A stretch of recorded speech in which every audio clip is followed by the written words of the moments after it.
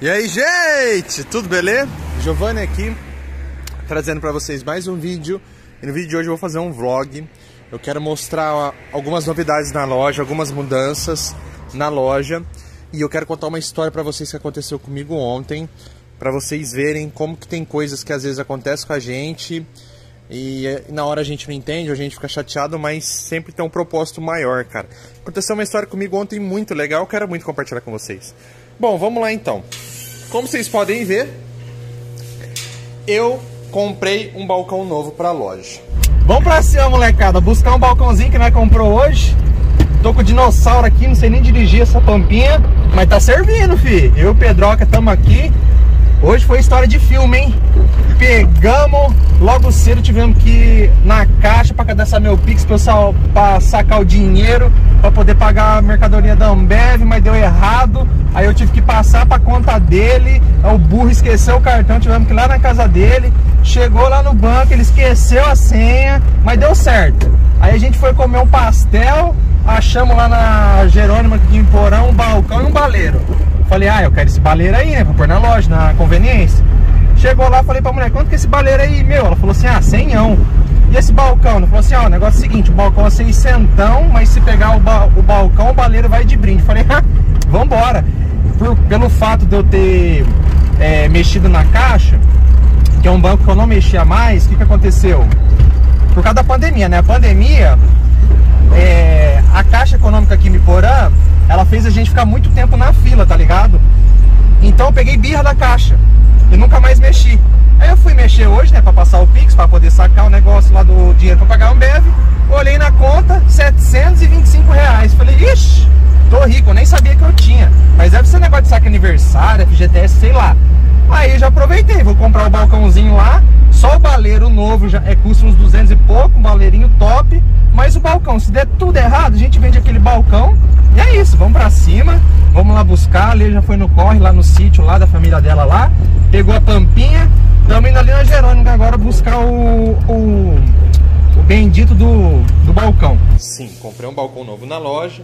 Esse balcão eu coloquei só doces, certo? Bem na cara do cliente Comprei um baleiro. Vocês não têm noção o quanto que eu tô feliz que eu consegui um baleiro, cara. Desde quando eu trabalho nesse segmento, eu sempre quis ter um baleiro. Só que baleiro é caro, velho. Vidro é caro. Eu paguei 550 reais nesse balcão, tá? Nesse balcão aqui. Bem ajeitado ele, tá? E o baleiro veio de brinde. Mas eu vou contar a história pra vocês de como que eu comprei isso aqui, que foi muito legal. Um dos últimos vídeos que eu postei aqui no canal, ah, daí o que, que eu fiz? O outro balcão que ficava aqui, eu coloquei aqui, deixei só a parte de tabacaria, e os expositores de chips eu coloquei aqui em cima, e o outro eu coloquei ali. Tá, vamos lá. Cara, ontem eu postei um vídeo falando que eu levei uma bronca do entregador da Ambev. Por quê? Porque chegou a minha compra da Ambev cedinho, nove e meia da manhã, antes da gente abrir a loja. Assim que eu no horário que eu ia abrir a loja, eu ia pegar, ia no banco sacar dinheiro para pagar a Ambev. Porque eu tinha o dinheiro para pagar a compra que eu fiz na Ambev, que deu 1.200 e pouco. 1.295. Só que o que acontece? Eu tinha uma parte desses 1.295 no dinheiro e outra parte no Pix, na conta. E agora aqui na minha região você só consegue pagar a Ambev o valor total ou só no dinheiro ou só no Pix. Não tem como você pagar um pouquinho no Pix, um pouquinho no dinheiro. Vamos lá então. Aí o que, que aconteceu? O entregador deixou pra mim, me deu uma bronca, né, por eu não ter o dinheiro, enfim. E falou assim, ó, então você vai fazer o seguinte, você vai lá sacar e você vai me encontrar onde é que eu tiver para você me levar o dinheiro que eu não vou voltar aqui. Falei, ah, beleza então, né? Ok. Aí o que, que aconteceu? Eu tive que fechar a loja, sim, 9 horas da manhã é, 10 horas da manhã eu fechei a loja, fui reabrir a loja só uma hora. Fiquei 10, 11, meio-dia e uma hora. Fiquei 3 horas com a loja fechada ontem só para sacar o dinheiro, certo? Mas aconteceu várias coisas nesse meio termo, nesse meio tempo. Vamos lá. Pra sacar o dinheiro, o dinheiro estava na conta da Lei, que é minha namorada, e ela que fica com o dinheiro da loja. Ela, o celular dela que está habilitado para fazer transações o Pix dela que está habilitado para fazer movimentações. No meu celular não está habilitado, certo? Daí eu falei para ela, ó, ela estava fazendo unha, né? Que ela faz alguns bicos de manicure. Eu falei para ela, ó, pega e faz o Pix pra mim, que eu vou pegar e vou tentar sacar esse dinheiro. Só que recentemente eu perdi a porcaria do meu cartão do Banco Inter, que é o meu cartão principal, certo? E eu não tava com o meu cartão do Nubank, que eu também utilizo. Eu só tava com o cartão da Caixa Econômica. E, mano, Caixa Econômica é uma conta que eu não uso há muito tempo. Por quê? Na época de pandemia, no início da pandemia, o que, que aconteceu? Eu passei muito raiva, muita raiva com a Caixa, não só eu, como vários outros brasileiros, por conta que ah, e o auxílio emergencial, rescisão de, de empresa que você trabalhou, enfim, era tudo pela caixa. Só que você não conseguia sacar, você tinha que ficar na fila. Sei lá, você chegava na fila 8 horas, você saía uma hora, duas horas da tarde. Então eu passei muita raiva com a caixa e eles faziam voltar nos dias. Eu falei assim, ó, falei para mim mesmo, depois que eu pegar tudo que eu tenho para pegar da caixa, eu nunca mais utilizo caixa na minha vida.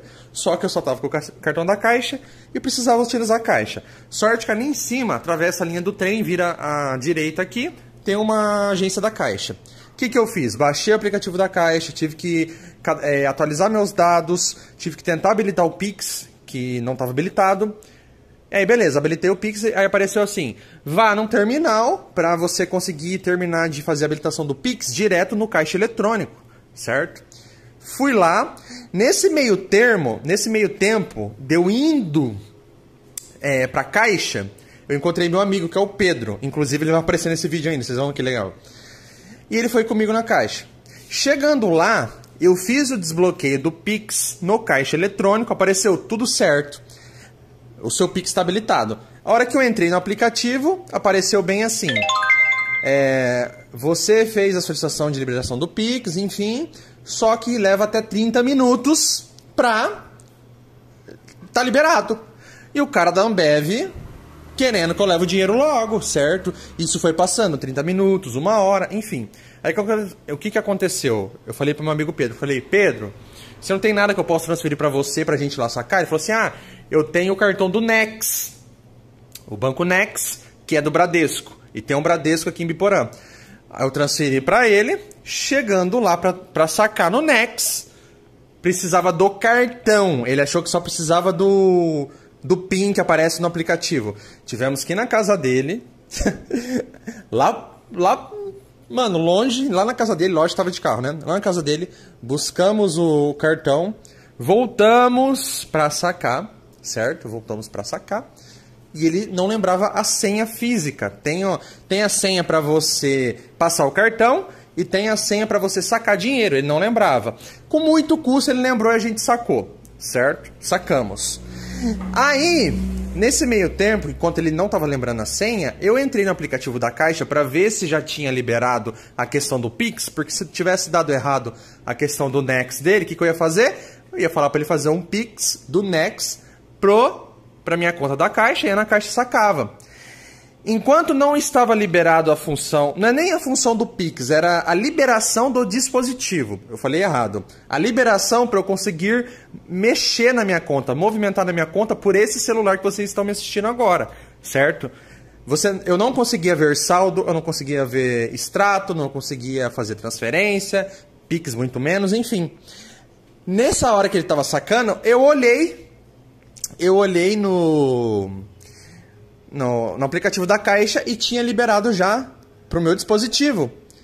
Aí, eu cliquei no saldo para ver se eu tinha algum dinheiro, mas eu lembro que eu não tinha nada. Eu olhei e tinha 725 reais na caixa, mano. Vocês acreditam? 725 reais. Que era uma conta que eu nunca mais eu ia usar na minha vida. Eu acho que alguma coisa do FGTS, saca aniversário, alguma coisa. Meu aniversário vai ser agora, dia 28 de julho, né? Deve ter caído já tem algum tempo. Eu precisando de dinheiro, hein? Mano, eu fiquei muito feliz. Aí a gente teve que levar o dinheiro pro entregador da Ambev do outro lado da cidade.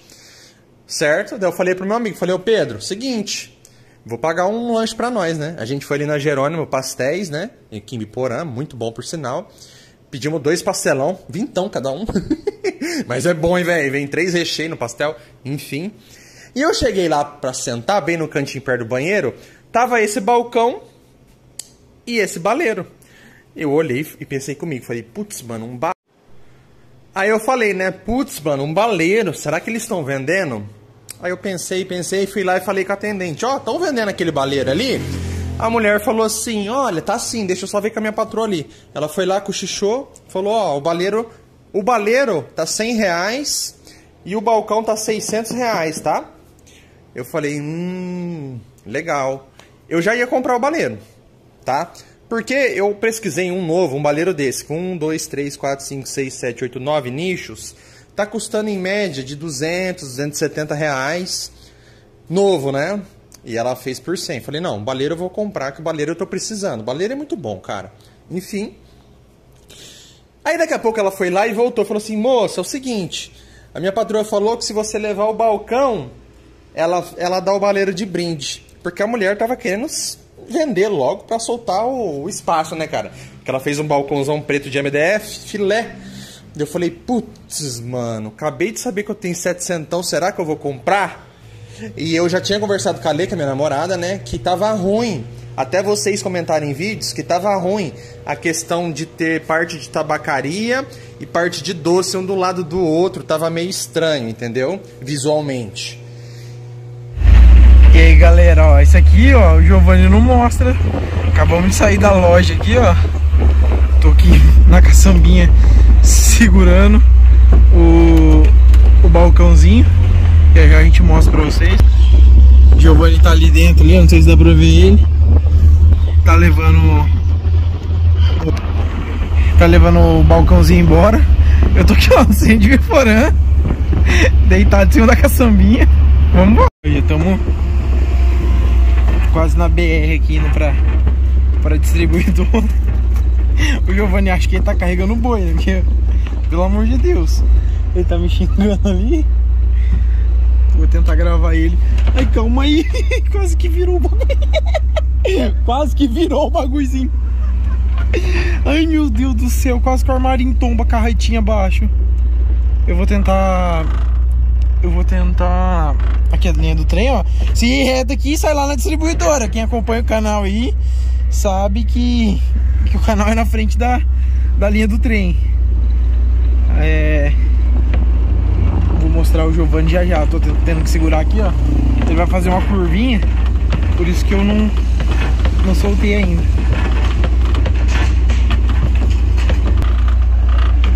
O Giovanni acho que ele tá fazendo o drift do negócio quê? Ai, tem uma carretinha aqui, ó. Não sei se dá pra ver. Uma carretinha aqui. Olha, ó. Tiozinho tá empinando a carretinha. Tamo indo. Eu tô tentando mostrar o Giovanni pra vocês, mas tá, tá difícil.